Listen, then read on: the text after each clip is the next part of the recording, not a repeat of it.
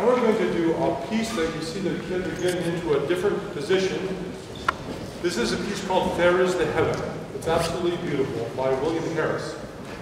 Now, there's a concerted style that goes with two choirs, but this is a melding of both of those sonorities. So you're going to hear sounds move back and forth between the choirs, and the, the text is absolutely beautiful, describing our heavenly home.